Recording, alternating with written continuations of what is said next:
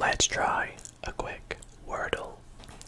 I'm gonna begin with the word stairs. Stare. It's pretty good for some good letters. So we've got S and E. E's in the wrong position, so let's just assume it's in the second position. We could go for something like seed. Seedy. Seedy could be good. So there's another E in there. Position, so I think it could be something. It could be speed. Speed is the only thing I can think of. Um, I'll go for speed though. Okay, so what about sweet? Could it be sweet? Nope. Uh, she.